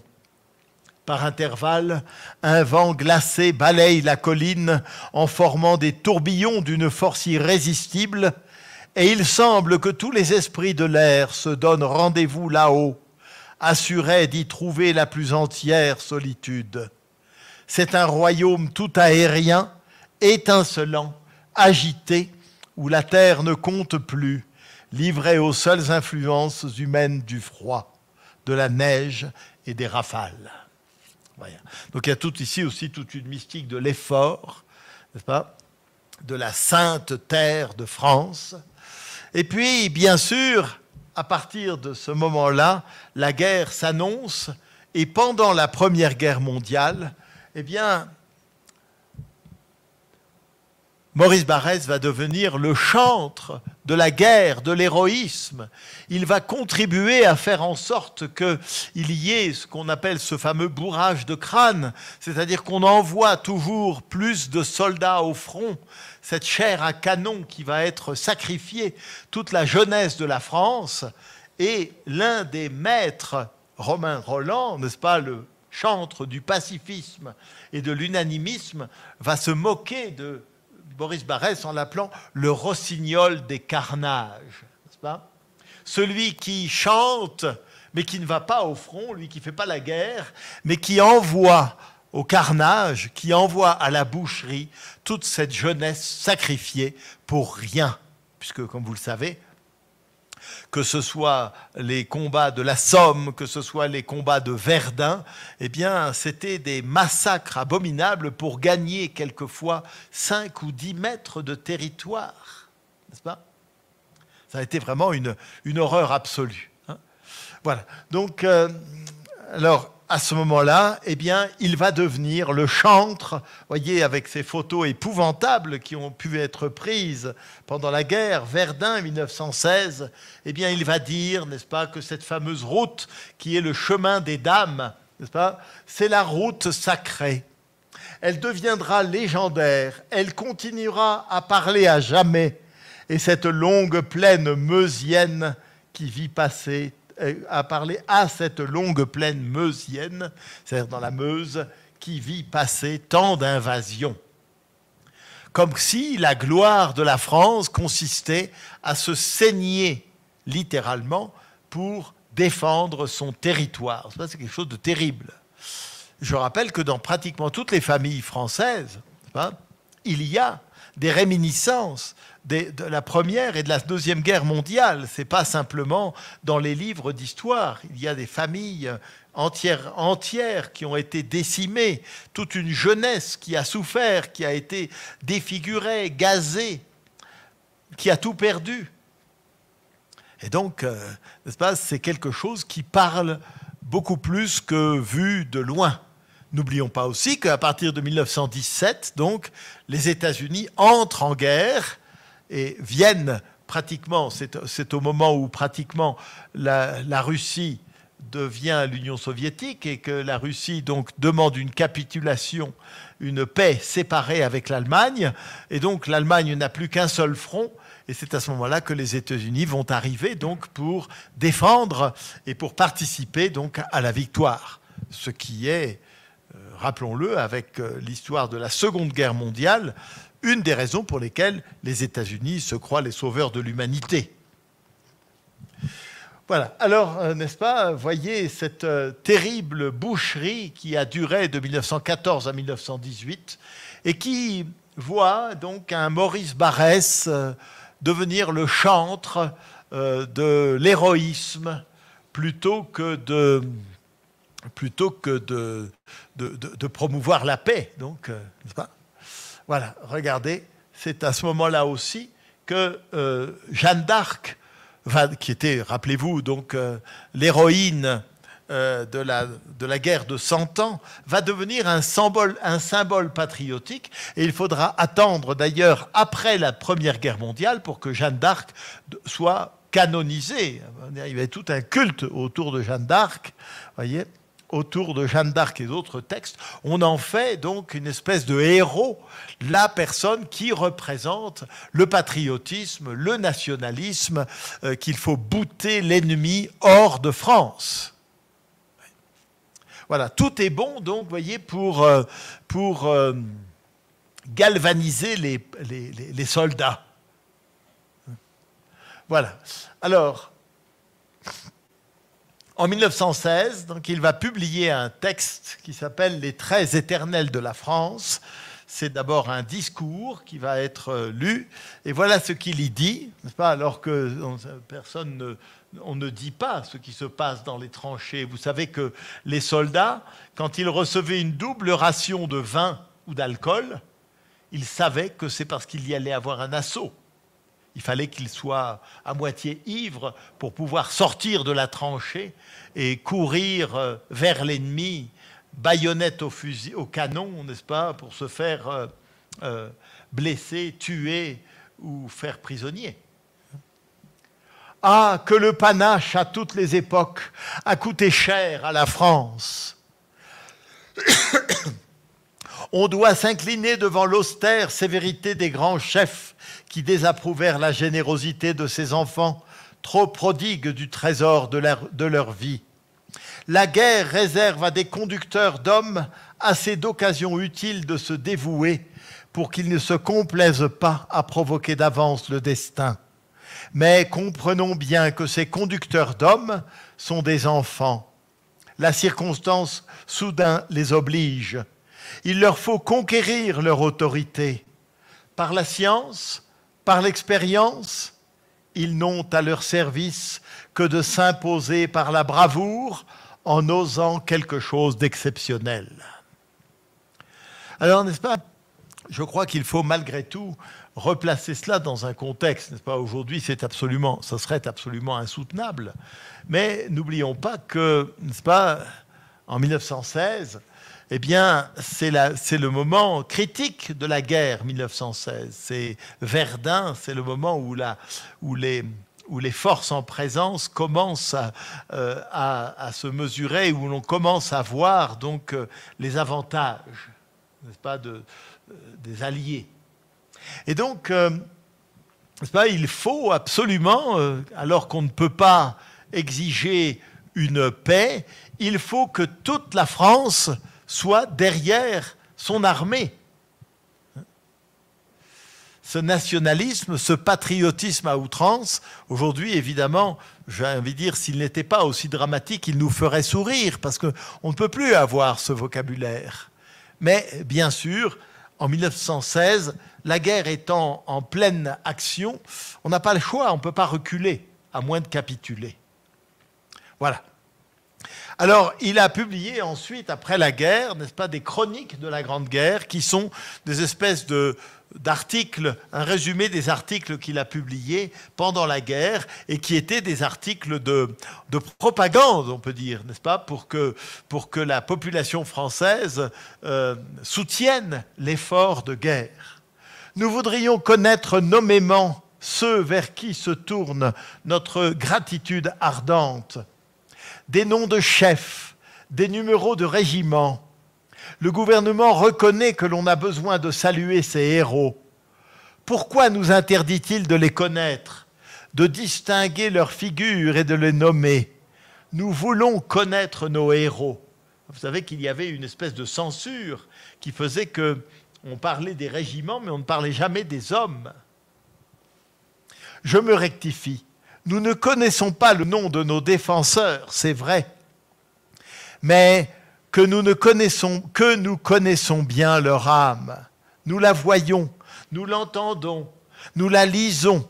À chaque minute, une lettre crayonnée hâtivement nous apporte des nouvelles frémissantes, brûlantes de nos fils, de nos frères, de nos maris, et nous livre tous les mouvements de ces cœurs de héros si ça vous intéresse, je rappelle qu'il existe euh, des livres, n'est-ce pas, qui, sont des, qui reprennent toute cette correspondance des soldats qui écrivaient à leurs familles. Et vous savez que pendant les périodes les plus dures de cette guerre, ils n'avaient pas le droit d'écrire des lettres. il ne pouvait écrire que des cartes, c'est-à-dire que la censure n'avait pas besoin d'ouvrir les enveloppes pour lire, et on n'avait pas le droit de dire où on était, hein, afin que les espions et que, euh, que les espions n'interceptent pas le courrier d'une part, et d'autre part qu'il ne fallait pas atteindre le moral des civils. Voilà. Alors, qu'est-ce qu'une nation? Comment elle se forme? Maintenant, nous le voyons d'une manière vivante. Comment une multitude qui se réjouissait de sa diversité et dont les millions d'individus épanouissaient leur force dans l'espace, sans se former en elle une, former en elle une pensée commune et tressaille d'un être nouveau qu'elle porte. Apprenez-le aujourd'hui. Comment la chose s'est-elle faite? Les Allemands disent c'est l'effet des intrigues et des insinuations anglaises et françaises. Ou encore, c'est pour maintenir les bénéfices des munitionnaires. Bêtise. On ne donne pas à un peuple l'idée que son honneur est en jeu par des raisons si mesquines. Ce qui s'est passé en Amérique, c'est une victoire de son aristocratie intellectuelle, ou si vous voulez, une victoire des éléments les plus nobles et les plus sociaux qui sommeillaient dans chacun des Américains. Ça, c'est au moment où l'Amérique va entrer en guerre, en 1917. Donc, voilà, les chroniques de la Grande Guerre, vous voyez, ce sont des livres qui sont parus évidemment après la guerre, mais qui manifestent à quel point il y a eu cette espèce d'exacerbation du nationalisme et du patriotisme. Et puis, tout d'un coup, après la guerre, en 1922, apparaît un livre qui n'a absolument plus rien à voir avec le nationalisme et qui s'appelle, qui est un roman, qui s'appelle Un jardin sur l'Oronte et qui est un roman d'amour. On a dit, n'est-ce pas, que euh, Maurice Barrès était amoureux de Anna de Noailles, qui était la grande poétesse des années folles, n'est-ce pas Et qui alors, mais on ne sait pas s'il s'est passé quelque chose entre eux, peu importe. Toujours est-il qu'il aurait transposé dans, euh, dans, sa, dans son histoire Un jardin sur le Ronte, qui est une rencontre euh, donc qui a lieu en Italie. Eh bien, euh, il aurait transposé sa rencontre avec Anna de Noailles. Voilà, alors regardez, euh, à la fin d'une brûlante journée de juin 1914, j'étais assis au bord de l'Oronte, dans un petit café de l'antique Hamma, en Syrie. Excusez-moi, l'Oronte, c'est pas en Italie, c'est en Syrie. Les roues ruisselantes qui tournent jour et nuit au fil du fleuve pour en élever l'eau bienfaisante remplissaient le ciel de leurs gémissements. Et un jeune savant me lisait dans un manuscrit arabe une histoire d'amour et de religion. Ce sont de ces heures divines qui demeurent au fond de notre mémoire comme un trésor pour nous enchanter. Qui n'a pas éprouvé la stupeur de recueillir, sans oser faire un geste qui trahit son désespoir, une nouvelle formulée dans les termes les plus insipides et qui va pour toujours se développer en nous et nous transformer? Qui n'a pas entendu, en se demandant s'il rêve, une parole glissée au fond de son être et tout y dénaturait, comme une fiole de poison versée dans la fontaine. Les jardins de Kalat étaient réputés parmi les plus beaux de la Syrie, dans un temps où les Arabes excellaient dans l'art d'exprimer avec de l'eau et des fleurs leurs rêveries indéfinies d'amour et de religion. Et donc c'est une réflexion dans, finalement, quelque chose qui va se passer dans le Moyen-Orient, c'est la rencontre eh bien, entre un occidental et euh, une, on pourrait dire une syrienne, c'est-à-dire une, musulmane. Et donc, c'est une réflexion sur le dialogue des cultures, n'est-ce pas? Donc, vous voyez, à la fin de sa vie, en 1900, publié en 1923, eh bien, euh, Maurice Barrès euh, réfléchit un petit peu sur les richesses de la diversité. Maintenant que la guerre est passée par là et qu'elle a été une grande leçon justement de, des horreurs que peut amener le patriotisme et le nationalisme. Voilà, alors euh, c'est son dernier livre publié de son vivant, et euh, n'est-ce pas, il va mourir le 4 décembre 1923. Il, euh, il habite Paris, mais il va beaucoup, se, il retourne très souvent dans sa ville natale qui s'appelle Charmes, et il est devenu, il n'est pas très âgé, il, a, il meurt à 61 ans, vous voyez, mais il est devenu quand même une espèce de, de vieille barbe, pourrait-on dire. Même avant sa mort, quelqu'un comme euh, Monterland dira Barès s'éloigne, c'est-à-dire qu'il n'est plus à la mode. Euh, la guerre a changé les mentalités. Euh, l'art déco est là, la technique a changé, euh, on commence à s'intéresser davantage à l'internationalisme, on est beaucoup moins cocardier, on a vu ce que ça pouvait provoquer. Eh bien, Maurice Barrès, donc à la fin de sa vie, semble être, devenu une espèce de une vache sacrée, comme ça, n'est-ce pas? Et euh, voilà, il écrit peu de temps avant sa mort J'ai achevé ma matinée en allant au cimetière de Charmes. Charmes, c'est sa ville natale, causer avec mes parents.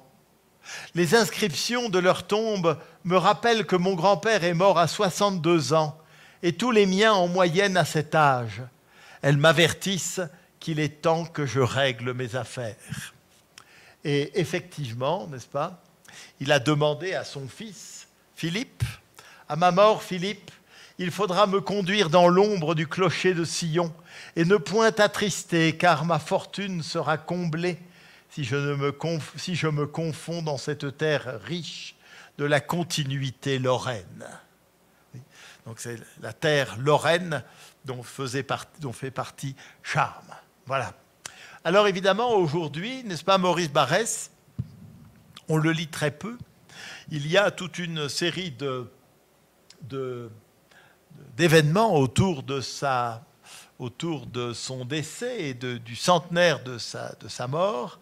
Mais malgré tout, je voudrais donc euh, vous dire que vous pouvez, il y a des choses intéressantes quand même dans son œuvre, et notamment, donc voyez, par exemple, il n'est pas dans la Pléiade. C'est-à-dire que ce n'est pas un auteur que l'on considère comme euh, immortel, disons. Il est intéressant, mais il intéresse surtout aujourd'hui les historiens, les historiens du nationalisme, les historiens du style aussi. Et je me suis beaucoup servi donc euh, de ce livre qui s'appelle, un livre d'Emmanuel Godot qui s'appelle Maurice Barrès, Le Grand Inconnu. Effectivement, n'est-ce pas C'est quelqu'un qui, malgré ce culte du moi dont il parle, pas on ne savait pas trop qui c'était. Voyez, c'était devenu une espèce de gloire, mais on n'a pas connu les fragilités de sa vie, n'est-ce pas Qui il était véritablement. Et ce livre est assez intéressant parce qu'il rentre dans l'intimité, on pourrait dire, de, Maurice Barrès. Et puis d'autres livres, n'est-ce pas, comme euh, de la, belle époque à la Grande Guerre de Michel Lemarié, ou bien un autre livre de Michel Vinox sur la belle époque. Voilà, qui sont des livres dont je me suis servi pour préparer cette présentation. Et puis, donc, voyez, c'est celui-ci, celui d'Emmanuel Godot, un autre livre de Jean-Pierre Collin qui est un petit peu plus ancien, mais qui s'appelle Maurice Barrès, Le Prince oublié, Le Prince de la jeunesse. Et puis celui-ci dont je viens de vous parler, La Belle Époque de Michel Vinocq, qui est aussi un... Michel Vinocq est intéressant, c'est un, un, historien aussi de la littérature qui a écrit une très grande et très bonne biographie de Flaubert. Voilà ce que je voulais vous dire à propos de, à propos de Maurice Barrès. Je ne sais pas si vous avez des, questions à poser ou si vous voulez euh, intervenir euh, avec euh, des commentaires.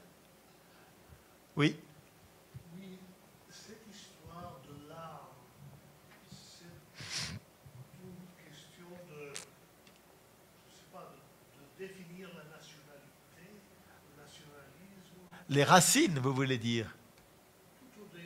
Oui. Ah oui, l'âme française, oui, oui, oui, oui. oui. Alors, n'est-ce pas, ça, c'est assez. C'est une idée qui est très démodée, n'est-ce pas, aujourd'hui? Mais il y a des antécédents à cela, n'est-ce pas? Par exemple, on pourrait penser à même des gens comme euh, euh, comme Montesquieu, par exemple, qui parle euh, des, des différents climats qui ont, des, qui ont des, des relations avec les races et avec les mentalités. Et puis plus, plus proche, au début du au 19e siècle, il y a Gobineau qui, lui, va parler véritablement dans les Pléiades, notamment, il va parler de l'inégalité des races. Or, vous savez que, justement, pour ce qui concerne l'antisémitisme, puisqu'il est très présent dans toute cette période, eh bien, nous pouvons dire qu'il y a une, une origine chrétienne à l'antisémitisme. Pas le peuple juif, c'est le peuple déicide, c'est le peuple qui a euh, donc fait tuer Jésus par les autorités romaines. Donc euh, c'est un peuple maudit, mais en même temps, n'est-ce pas, c'est un peuple qui devra survivre, parce qu'il ne faut pas oublier que la religion chrétienne, eh bien, elle est hanté, c'est hanté au sens de greffé sur la Bible. C'est-à-dire que la Bible, euh, la Bible est aussi le livre des chrétiens, ça n'est pas simplement euh, le Nouveau Testament, mais tout l'Ancien Testament nous appartient aussi. Et donc, cette histoire de la terre promise, cette histoire du peuple élu, eh bien, nous ne pouvons pas enfin nous, je veux dire, les, religions occidentales qui sont judéo-chrétiennes finalement, ne peuvent pas l'oublier et l'omettre. Et donc, euh, vous savez qu'il y a eu, par exemple, euh, non seulement les rois, mais euh, la République, Napoléon, l'Empire, mais aussi bien avant les papes, ont protégé les Juifs, qui ont toujours été, d'une certaine manière, isolés et qui eux-mêmes ont constitué des ghettos, c'est-à-dire des lieux où ils vivaient entre eux. Le premier ghetto, c'est le ghetto de Venise, n'est-ce pas euh, Qui était le lieu où les Juifs se rassemblaient. Vous avez leurs habitations, même si euh, ils sortaient du, ghetto pour aller travailler. Et puis les Juifs ont aussi fait preuve d'une magnifique et extraordinaire capacité spéculative non seulement intellectuelle, mais aussi financière. Et il y a évidemment dans toute cette haine du juif qui va se manifester au XIXe siècle et au début du XXe siècle, il y a beaucoup de jalousie. La jalousie sur le succès économique, social des juifs. Je vous ai parlé de de Drummond, n'est-ce pas Édouard Drummond, dans la France juive, par exemple, il va dire les juifs qui ont réussi, comme les familles Rothschild, etc., Camondo, euh, Efroussi, etc., eh bien, se sont alliés aux familles de la plus haute aristocratie D'ailleurs, beaucoup d'entre eux ont été anoblis, que ce soit les Rothschild, les Camondo ou les Efrussi, donc avaient des titres nobiliaires, soit italiens, soit français, soit anglais, etc. Mais donc, et ils sont rentrés d'une certaine façon dans l'aristocratie la plus, on pourrait dire la je vais utiliser un mot qui, vous allez comprendre que ce n'est pas mon, euh, moi qui qualifie, dans l'aristocratie la plus pure et la plus ancienne la, grande, la très haute aristocratie. Et puis, nous savons que beaucoup de juifs aussi, ça c'est un point très important, le 19e siècle a été l'époque pendant laquelle les juifs se sont assimilés. C'est-à-dire qu'ils sont rentrés dans la société civile. Ils n'étaient plus dans leur châtel, c'est-à-dire dans leur petit village, dans leur ghetto, mais grâce à la prospérité de leurs affaires, eh bien, ils sont devenus assimilés tout à fait, et ils se sont fondus dans la société. Et puis, n'oublions pas que quelque chose qui gêne toujours les racistes, et les racismes, pour ne pas parler que des racistes, eh bien, c'est que un juif, ça ne se voit pas c'est beaucoup plus facile de repérer un Africain, de repérer un Asiatique, de repérer un Tzigane, mais un Juif, n'est-ce pas, quand il est assimilé, eh bien, et qu'il ne porte plus les accoutrements de sa religion, eh bien, on ne voit pas. Je rappelle que des gens comme euh, Marcel Proust, par exemple, était juif par sa mère, qui s'appelait Jeanne Weil. oui, que la famille Rothschild a été euh, associée aux plus grandes familles de France par des mariages, la famille de Gramont, euh, la famille euh, de Clermont-Tonnerre, etc. Toutes ces grandes familles de l'aristocratie française ont redoré leur blason avec la finance internationale et très souvent juive. C'est-à-dire qu'on faisait comprendre, n'est-ce pas, à une demoiselle ou disons à la famille euh, d'un richissime juif que s'il épousait euh, un duc français, eh bien, la dot devait être à la hauteur des espérances. Voyez? Alors tout ça, n'est-ce pas, a contribué à faire en sorte que autre chose se soit greffé sur l'antisémitisme, qui est la jalousie et de dire que les juifs eh bien, restent entre eux et que finalement, ils sont juifs avant d'être français, avant d'être allemands, avant d'être russes, avant d'être belges, etc. Est-ce qu'il y a, disons, à cette époque-là, une contrepartie qu'on pourrait appeler disons, du, côté de l'Allemagne, la naissance du national-socialisme, et je ne sais pas, ce qu'on appellerait le Geist euh, allemand Est-ce que... Alors, pour l'Allemagne, c'est un petit peu plus différent, un petit peu plus compliqué, pardon, parce que euh, vous savez que l'Allemagne pratiquement jusqu'à la guerre de 1870, était composé de duchés, de petits royaumes. Il y avait la Prusse, il y avait la Bavière, il y avait une partie de l'Autriche-Hongrie, etc. Enfin, il y avait des petits royaumes comme ça, et des petits duchés, et des principautés. Et c'est l'une des raisons pour laquelle, d'ailleurs, Bismarck par un stratagème euh, astucieux, a provoqué la guerre de 1870 contre la France pour que toutes ces solidarités entre tous ces petits peuples euh, se rassemblent et pour que l'on puisse créer, en 1871, le Second Reich, c'est-à-dire l'Empire allemand, qui va regrouper tous ces petits États. Et aujourd'hui encore, vous savez que donc, les Länder en Allemagne eh bien, correspondent à ces différentes, euh, on pourrait dire, nationalités, identités.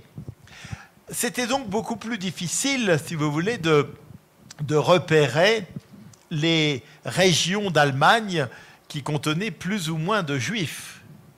Et nous savons aussi qu'il y avait des mentalités très différentes d'un État à l'autre. Par exemple, la Bavière était catholique.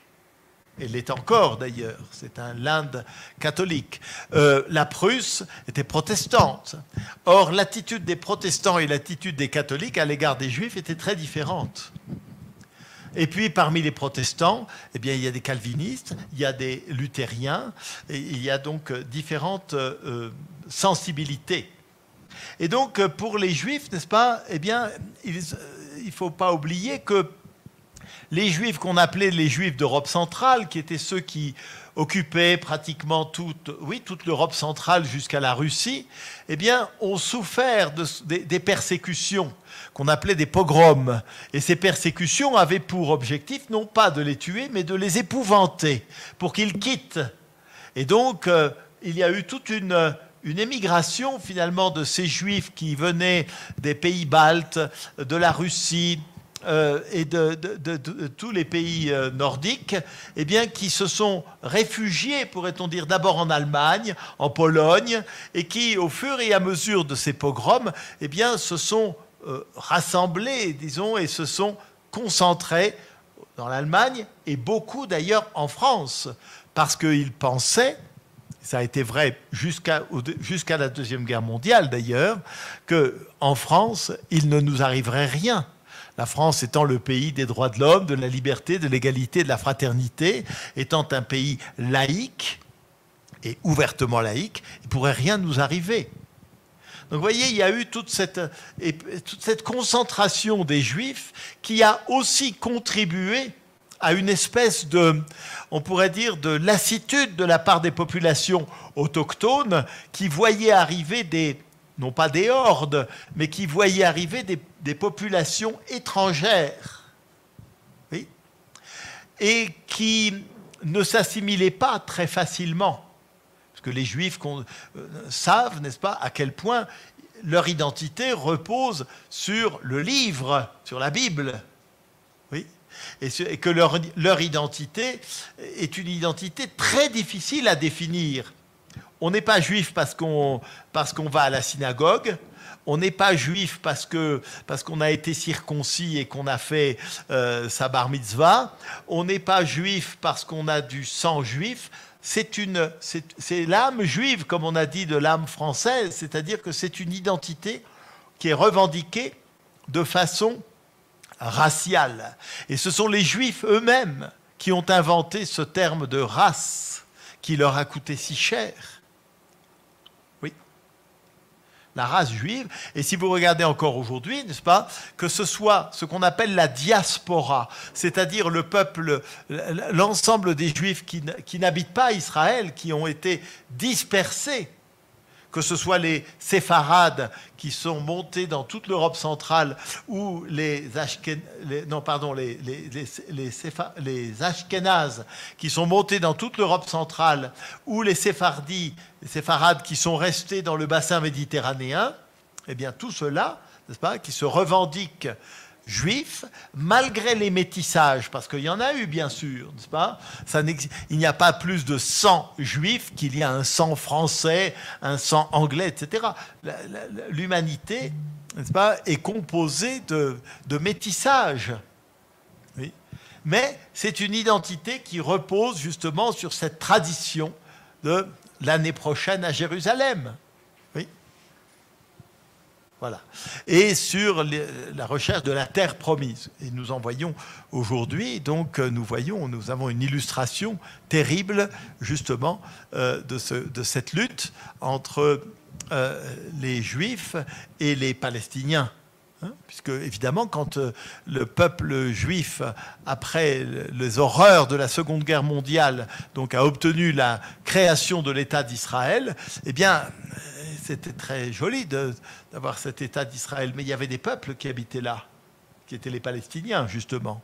Donc fallait-il chasser les Palestiniens ou bien prévoir donc une cohabitation avec la perspective à long terme des deux États? Mais aujourd'hui, nous savons à quel point la Palestine est affaiblie par le, euh, par la puissance et par l'énergie et l'économie et par la guerre euh, menée par, par le peuple juif.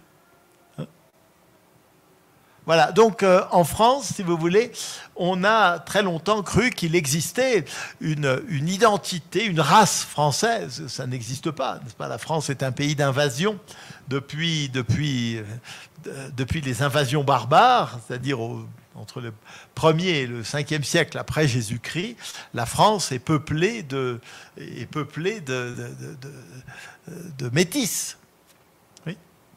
Alors évidemment, euh, n'est-ce pas, on a même dit, il y a eu même, une, à propos de Barès, puisqu'on en parle, il y a même eu euh, un pamphlet qui le présentait comme étant un juif lui-même parce qu'il avait sûrement du sang qui venait d'Espagne, il avait le nez crochu. Vous savez qu'il a existé, donc ça a existé.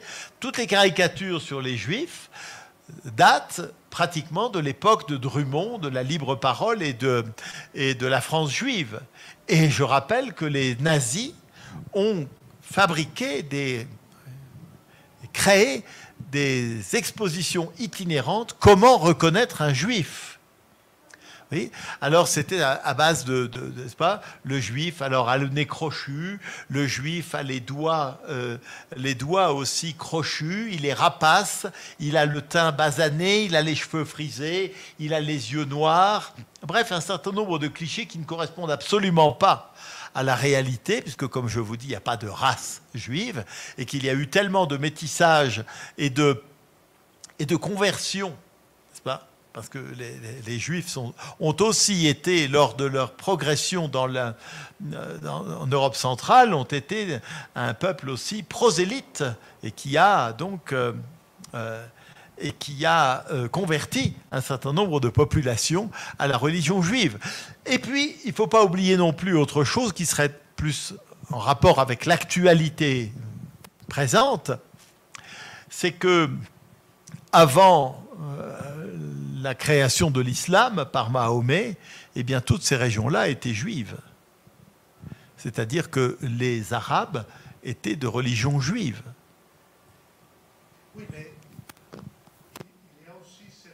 euh, Enfin, je- je- il y a la question de race et re- religion.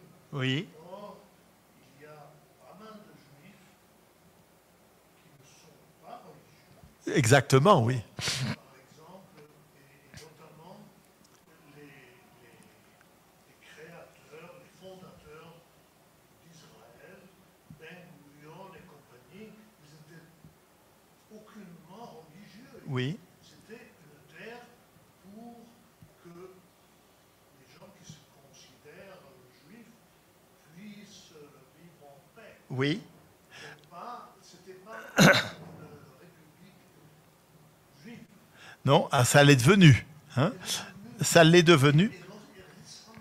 Oui, mais, euh, ce qu'il- mais justement, n'est-ce pas, c'est la grande difficulté justement de, et c'est aussi la force peut-être du peuple juif, c'est qu'il est pratiquement indéfinissable. On ne peut pas le définir par, une, par le sang, on ne peut pas le définir par la religion, on ne peut pas le définir seulement par la tradition, parce que vous avez des juifs euh, euh, qui, euh, qui font Shabbat et d'autres qui ne font pas Shabbat. Vous avez des juifs qui mangent kasher et d'autres qui ne mangent pas kasher. Ils ne sont pas moins juifs pour cela, n'est-ce pas? Alors, quelquefois, on dit, n'est-ce pas, que pour être juif, il faut avoir une mère juive, parce que la judéité se transmet par les femmes. Hein Euh, ce qui n'est pas toujours vrai d'ailleurs, parce qu'une, euh, disons, une goy, c'est-à-dire une femme qui ne serait pas juive, mais qui épouse un juif et qui se convertit, donc devient juive. Mal- malgré tout, n'est-ce pas, il y a quand même cette espèce de sacralité du sang. C'est quand même quelque chose de très curieux. Les Juifs se considèrent comme les héritiers de la promesse faite donc à Moïse. La promesse faite à Moïse euh, sur, le, Sinaï, donc, la terre promise et le peuple élu. Voilà. Donc, euh, c'est-à-dire, il y aurait effectivement une espèce de contradiction dans les termes quand on dirait un juif athée, par exemple malgré tout. Hein Voilà. Voilà, mais je ne veux pas rentrer davantage dans ce débat parce que c'est ça, c'est pas. euh, alors, par rapport à cela, oui, quand même, je voudrais dire que euh, Maurice Barrès, donc, euh, est d'un, j'ai envie de dire, euh, d'un antisémitisme naïf et opportuniste. Et on ne peut en aucun cas euh, considérer qu'un antisémite de, disons, de sa génération euh, est un horrible pourvoyeur de fours crématoires et un, alimentateur des chambres à gaz. hein. Malgré tout, n'est-ce pas, euh, il y a quand même une espèce de généalogie de l'antisémitisme qui a conduit à cela. Quoique l'antisémitisme français soit très différent de l'antisémitisme, disons, qui a été développé par le national-socialisme. hein. Je vous ai parlé tout à l'heure euh, du protocole des sages de Sion, qui, a été, qui est un, pas un canular, mais qui est un faux, qui a été écrit. Et vous savez que pour, euh, euh, pour le national-socialisme, par exemple, mais c'était déjà vrai peut-être pour quelqu'un comme, euh, comme Louis-Ferdinand Céline entre les deux guerres, pratiquement les juifs, les communistes et les francs-maçons, c'est à peu près la même chose. C'est-à-dire que ce sont des traîtres à la patrie.